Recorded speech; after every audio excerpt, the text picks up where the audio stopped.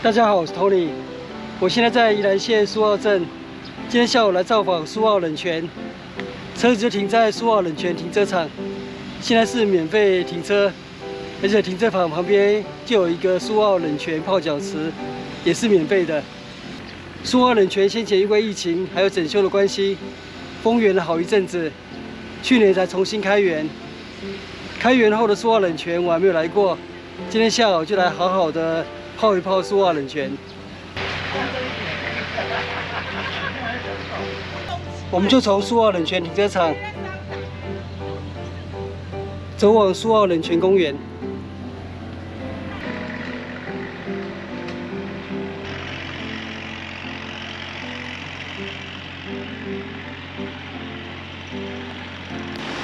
前面是苏澳冷泉传统汤屋。哦，这是冷泉传统汤屋。苏澳冷泉公园，哦，现在分成两边。我们先去冷泉公园好了。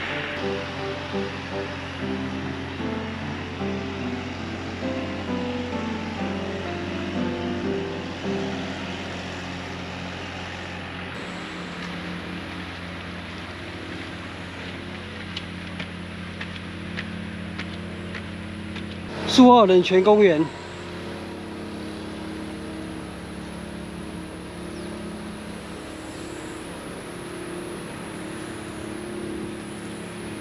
这是最近几年才新建的建筑。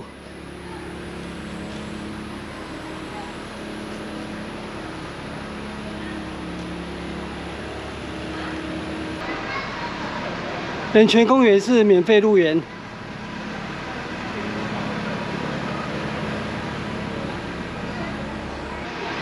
苏澳冷泉这个区域是免费的，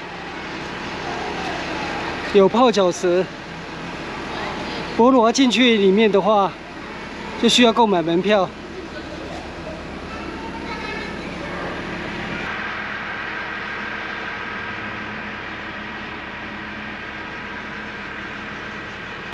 这里是入口处。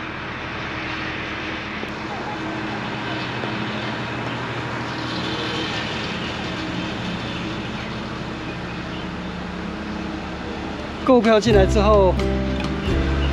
这里就是苏澳冷泉公园。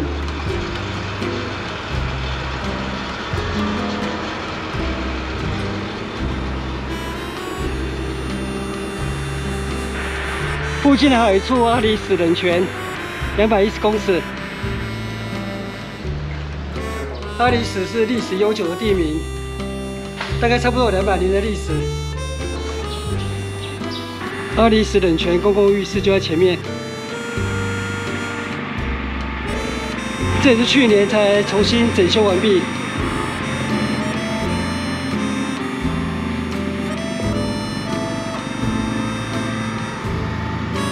一一年全年免费入场，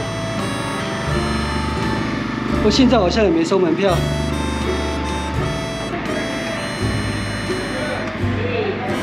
哇，好冰！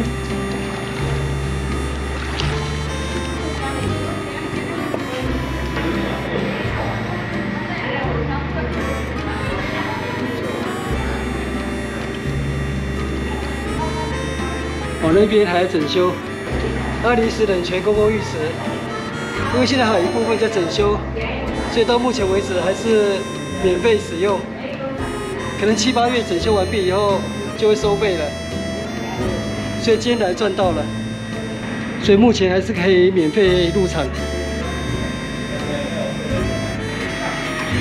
旁边那栋建筑就是苏澳龙山林大饭店。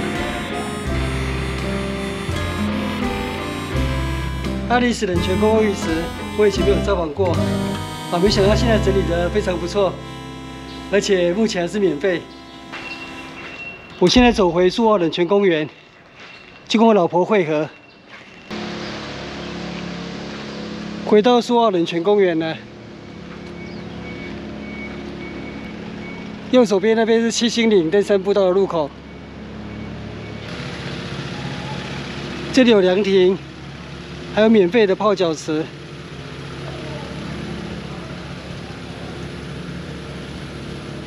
啊！现在刚好没人，那我就来享受一下。苏澳冷泉泡脚池。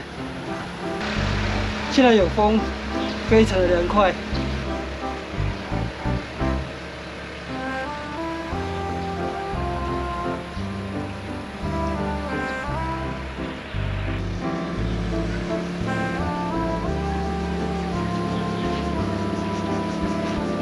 我看见我老婆了。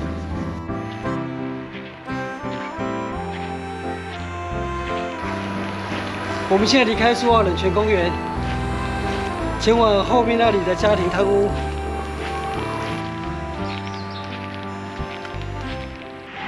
苏澳冷泉传统汤屋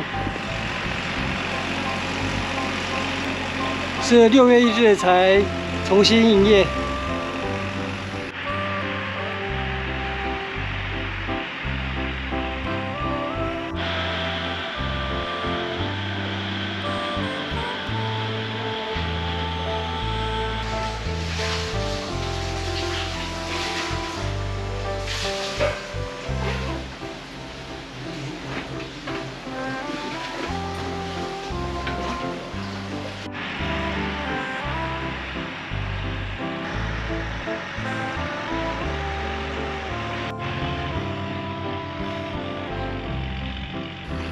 我们回到苏澳冷泉停车场了，啊，泡完苏澳冷泉，站。